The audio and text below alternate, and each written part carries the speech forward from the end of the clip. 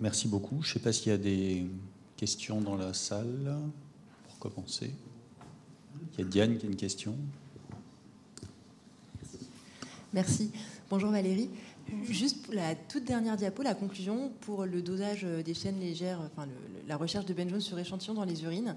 Euh, j'en reviens, je boucle un petit peu avec les modalités pratiques de réalisation de ce bilan de gamma-pathie qui n'est pas toujours simple à faire euh, en ville. Donc moi je sais que j'organise beaucoup en hôpital de jour un bilan un peu complet d'amylose. Et à ce moment-là, bah, c'est compliqué d'avoir des urines des 24 heures et c'est compliqué d'avoir les premières urines du matin parce que les gens ils viennent de chez eux et ils ne se sont pas retenus. Alors, c'est quoi la limite de ne pas le faire sur les urines du matin? Bah, les urines du matin, on collecte, on collecte tout ce qui a été euh, stocké dans la nuit. Donc c'est sûr que c'est un petit peu plus sensible. Après, euh, un, simple échantillon, si on n'a pas le choix, il vaut mieux, plutôt que de rien faire, il vaut mieux faire un échantillon de n'importe quel moment de la journée. C'est quand même assez sensible. Mais il y a des, fluctuations dans, le, dans, l'excrétion de la chaîne légère. Et donc plus on collecte sur un délai long, euh, plus on est sensible. Ensuite, si c'est positif, bon, bingo. Hein. Finalement, ce que vous avez dit, c'est que c'est le dosage des chaînes légères qui est vraiment le plus important, presque. Comment ça se fait qu'il ne soit pas remboursé en ville? Donc ça, c'est la fameuse question que tout le monde se pose. Alors ça, je ne sais pas. Euh, oui, c'est vraiment, euh, c'est vraiment bizarre. Euh, je n'ai pas, pas d'explication à, ça. Et sinon, quand le, quand le ratio est élevé, je suis là.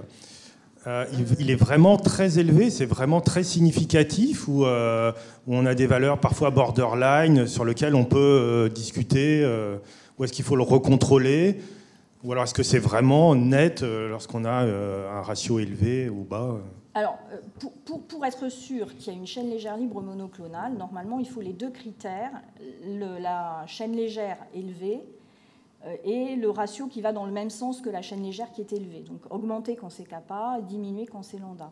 Si on n'a pas ces deux critères et qu'on n'a pas d'autres preuves indépendantes de la présence d'une chaîne légère libre monoclonale, on est embêté. Après, euh, dans la situation que j'ai montrée à la fin, euh, une fois qu'on a la preuve dans l'urine qu'il y a de la chaîne légère libre monoclonale lambda, on peut revenir sur le dosage des chaînes légères et faire le différentiel lambda moins kappa et se dire que ça doit contenir la chaîne légère libre lambda qu'on détecte dans l'urine. Vous voyez ce que je veux dire? Donc, en fait, il faut, il faut tout faire.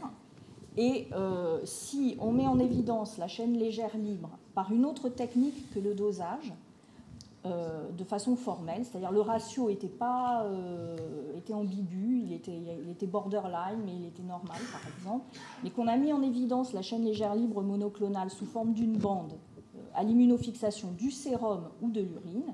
Ensuite, on sait que quand on dose, on dose forcément cette lambda libre monoclonale. Donc on peut revenir sur ce dosage et faire le différentiel lambda moins kappa ou kappa moins lambda selon les situations, et se dire, bon là, on a euh, une mesure qui, est, bon, qui, vaut ce qu'elle vaut, hein, qui est une, évaluation, on va dire, de la chaîne légère euh, monoclonale, et ça pourra servir pour le suivi sous traitement. Et sinon, il y a autre chose, c'est que euh, je vous ai dit qu'il y a plusieurs dosages. Quand il y en a un qui, donne des résultats ambigus, nous, au laboratoire, on, en, a deux à disposition, on saute sur l'autre, on essaye l'autre parce qu'il y a des petits problèmes qui, peuvent être liés à la structure des chaînes légères qui se multimérisent, en particulier dans l'amylose. Elles peuvent faire des dimères, mais des, superstructures encore plus grosses. Et même les kappa peuvent s'agglomérer. Donc ça peut gêner la détection, ça peut modifier les propriétés de détection, ça peut entraîner des sous-évaluations, des surévaluations. Donc quand on est embêté que ça colle pas, on peut changer de type de méthode de dosage. Parce que nous, ce qui nous gêne, le cardiologue de base, c'est vraiment le rapport, enfin les deux élevés, avec un rapport euh, pas tout à fait normal, mais euh, c'est ça les situations compliquées en fait. Bah, si, vous voulez, après on peut, on peut discuter sur des cas individuels. Je ne peux pas vous répondre d'une façon euh, générale. La théorie, c'est que pour faire un diagnostic de chaîne légère monoclonale à partir du dosage, il faut avoir les deux, le, ratio euh, augmenté ou abaissé selon le cas, et la chaîne légère correspondante qui est augmentée. Est-ce qu'il y a d'autres questions euh, pour les orateurs? Moi, je vais en poser une en, attendant qu'on passe le micro à Thibault. Euh, à Sylvia. Pardon, vas-y Antoine. Euh, je vais vous poser une question qu'on pose tous les ans depuis six ans. Euh, et personne n'a la réponse, peut-être que vous l'aurez. C'est vrai que le ratio est, donc, hyper important pour euh, du coup, savoir s'il y a un excès de chaîne légère ou pas. Du coup, on nous dit que les ratios changent, les, les, valeurs de ratio changent en fonction de l'atteinte rénale. Sauf qu'on ne nous dit pas à partir de quand, quelle insuffisance rénale, est-ce que c'est une clairance à faire à 60, une clairance à faire à 45, une clairance, une clairance à faire à 30 Est-ce que vous, vous avez la réponse? Non, même pas. Non, ah. ah. Micro, micro. Je reviens de l'American Society of Hematology, qui s'est terminée il y a 48 heures. Et il y a eu une communication sur justement les différentes tranches d'insuffisance rénale et la façon de considérer la ratio en fonction de la tranche d'insuffisance rénale. je pourrais vous le faire passer par Thibault et, et Sylvia si vous voulez. Non, il n'y a pas de réponse. Il y a des réponses multiples en fonction des différentes tranches d'insuffisance rénale et je ne les ai pas en tête. Oh, moi, dans mon expérience, euh, franchement, euh, c'est quand l'insuffisance rénale est vraiment sévère que, ça se modifie. Et le test que nous, on utilise en première intention, qui est, euh, sans faire de publicité, hein, qui est commercialisé par Siemens, le ratio ne change pas en fonction de l'insuffisance rénale, ce qui est bien pratique. Et on n'a pas d'explication d'ailleurs, il n'y a pas d'explication scientifique. Euh, à ce phénomène. On, va passer à d'autres questions sur les autres orateurs, les, deux orateurs. Moi, j'ai une petite question pour, pour Sylvia. Donc ça y est, on est convaincu que la génétique, il faut la faire. Mais tu nous as pas dit pourquoi il fallait la faire. Euh, et moi, ma question, et je suis très clinicien, j'ai effectivement quelques personnes âgées, très âgées, 85-90 ans, qui ont des variants. Mais qu'est-ce qu'on sait de la descendance, en fait? Qu'est-ce qu'on fait de la descendance? Qu'est-ce qu'on sait de la descendance? Parce que finalement, quand tu le détectes, tu vas, tu vas dépisser les apparentés de premier degré, dont les enfants en général.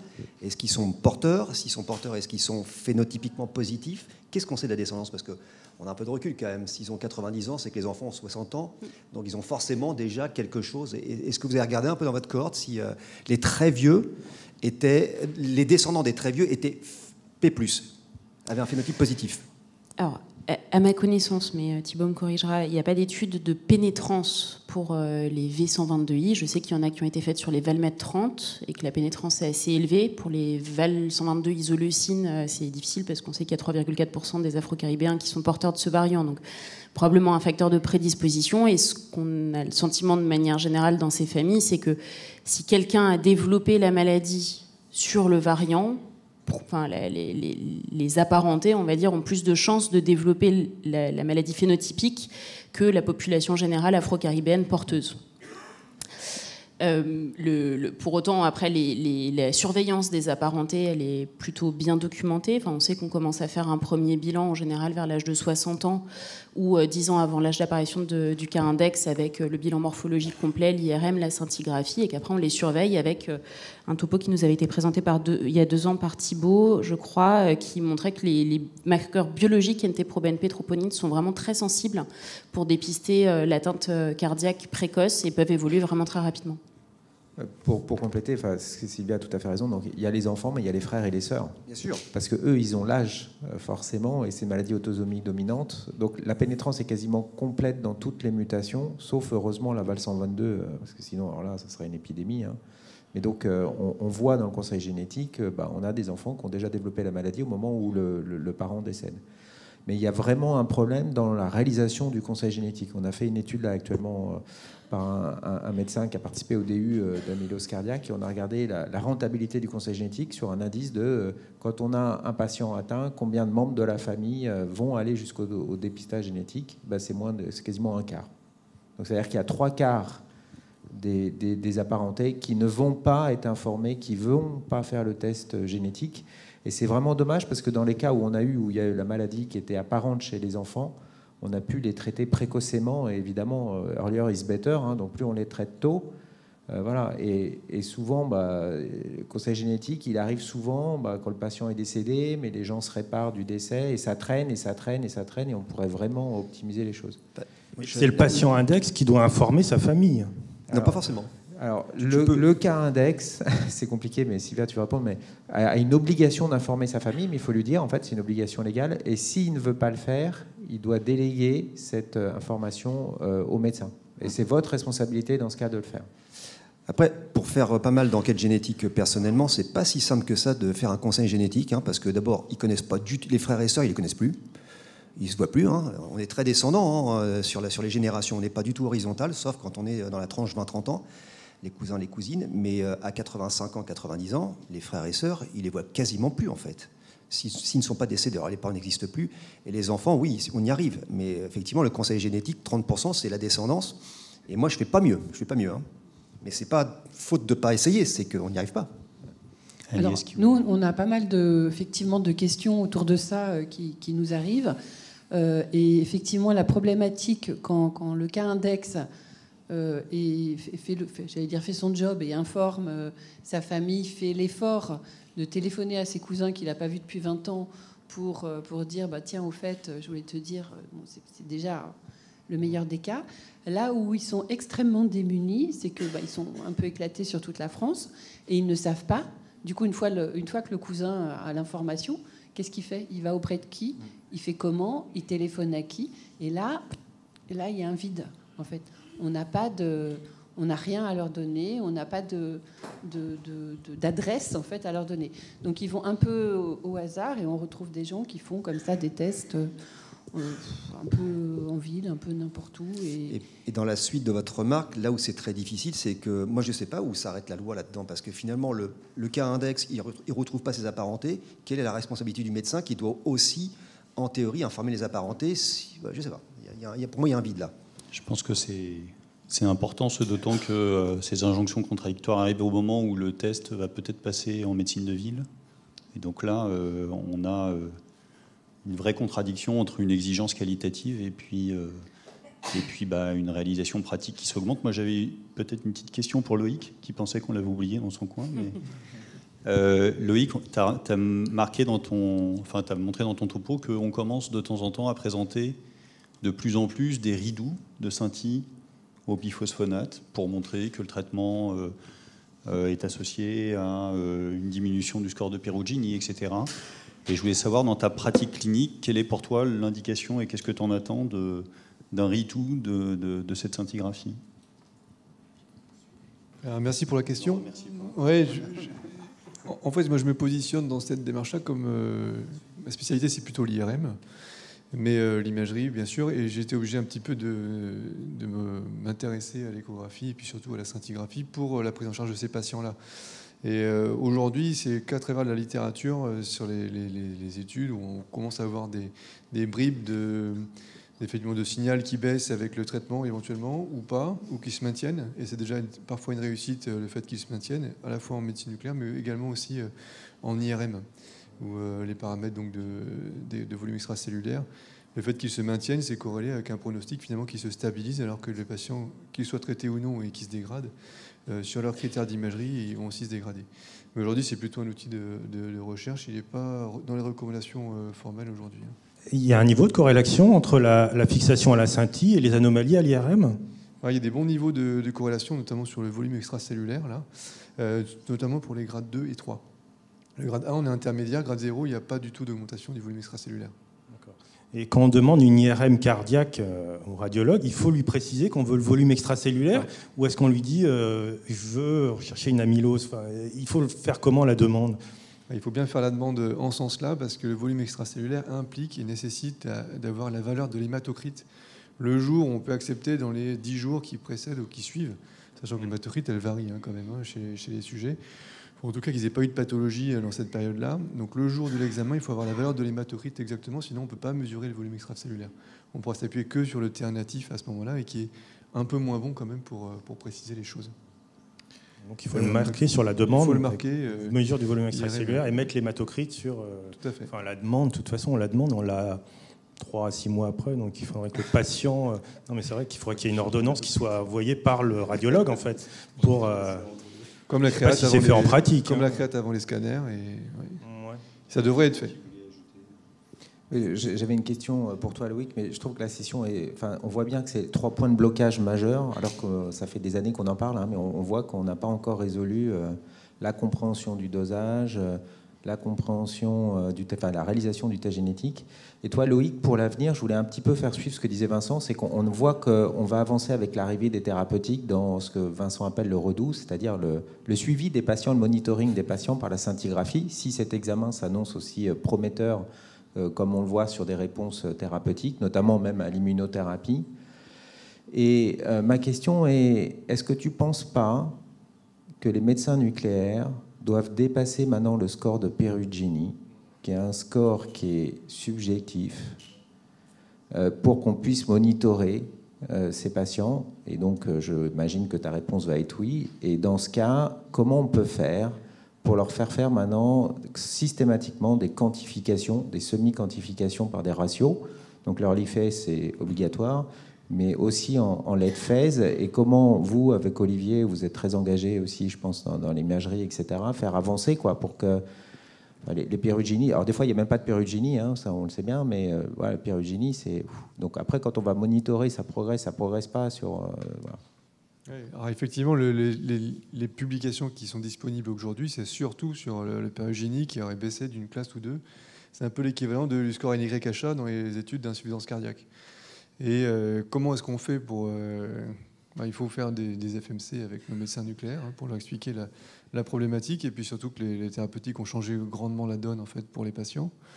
Euh, et qu'est-ce qu'on en attend? Après, je, vous ai montré deux, travaux, donc dont le vôtre, euh, qui, euh, sur Créteil, qui, qui quantifient en early, mais en late aussi, on peut quantifier euh, il faut faire du spectre aussi pour pouvoir appliquer des coefficients d'atténuation. Mais ça, ils, aiment beaucoup ça aujourd'hui, les, médecins nucléaires, parce que ça leur permet de donner des comptes rendus plus, plus robustes. Et puis, il y a, peut-être. Parce que le, topic, c'était le TTR, mais pour l'AL, par contre, là, euh, l'IRM, elle permet aussi beaucoup de faire le, suivi en fait, des patients et l'efficacité. Et pour tout dire, là, sur les deux ou trois dernières années, 90% euh, des indications d'IRM dans la mylose, c'est que des AL, soit des suspicions, soit des diagnostics, soit des suivis. Euh, de la part des collègues hématologues. Et eux, par contre, ils pensent toujours à l'hématocrite. Donc euh, finalement, quand ils sont vraiment intéressés, les collègues, c'est les patients souvent en hospitalisation de jour, il y a l'hématocrite qui vient avec. Juste un petit commentaire pour la fixation euh, à la scintille. Il va falloir vraiment qu'il y ait un cahier des charges pour le scintigraphiste très rigoureux parce que nous, moi, des 1, j'en ai plein, qui deviennent des 0 l'année suivante, qui reviennent 1, puis qui retournent à 0. Ce qui veut dire qu'il y, a un côté technique qui est à prendre en considération dans, dans le marquage, en fait. Oui, tout à fait. Vous avez vu sur le CHU d'Angers, entre février et septembre, le patient était spect, plus ou non. Hein. Donc c'est vraiment. Euh, dans tous les centres, on a des évolutions quand même, et une prise de conscience parce qu'ils ont, ils ont de plus en plus d'examens de ce type aussi qui sont demandés. Alors, si la scintille est positive, on n'a pas besoin de faire d'IRM. Ah non, pas du tout, pas besoin d'IRM si la scintille est positive. Au jour d'aujourd'hui, pour la pratique clinique, pour débuter le traitement.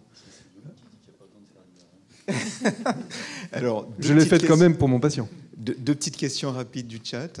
La première, c'est qu'est-ce qui, à Valérie d'abord, qu'est-ce qu'il faudrait pour que le euh, qu'il y ait de l'interprétation beaucoup plus systématique et détaillée quand on rend les résultats d'électrophorèse des protéines?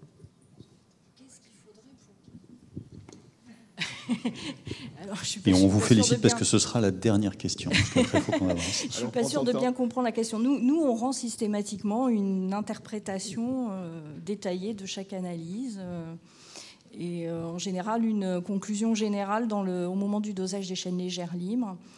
Et comme je le disais tout à l'heure, quand on a une ambiguïté et qu'on sent bien que c'est important de conclure par rapport à l'amylose, on, on change de, kit de dosage, puisqu'on peut se rattraper. En, général, quand il y en a un qui n'est pas performant, le deuxième rattrape. Voilà. Euh, et la conclusion, bah, il faut, euh, que le biologiste euh, s'astreigne en effet à, mettre une conclusion, à dire si oui ou non il estime qu'il y a une chaîne légère libre monoclonale et comment la quantifier. Il faut qu'il rende la, fameuse DFLC, le, le différentiel lambda-kappa ou kappa-lambda. Je pense que le sujet, c'est qu'en ville, c'est compliqué, en fait. Enfin, en ville ou dans d'autres laboratoires qui ont moins d'expérience. Alors, vous, c'est mm. hyper agréable et on sait qu'on peut vous appeler pour en discuter quand on ne comprend pas bien. Mais le problème, c'est que les cardiologues ne sont pas du tout formés au bilan de gamma-pathie monoclonale. et que les, réponses du coup sont complexes. Enfin, et c'est vrai que sur des bilans bio que j'ai vus euh, faits en ville, il n'y a pas écrit euh, présence d'une gammapathie monoclonale ou absence de ah gammapathie monoclonale. Il y a juste euh, l'interprétation de l'électrophorèse et l'immunofixation qui dit répertoire oligoclonal des, des immunoglobulines qui, je pense, perd le cardiologue assez souvent. C'est regrettable, mais là, que faire? De la FMC De la FMC des immunobiologistes, du coup. Là aussi.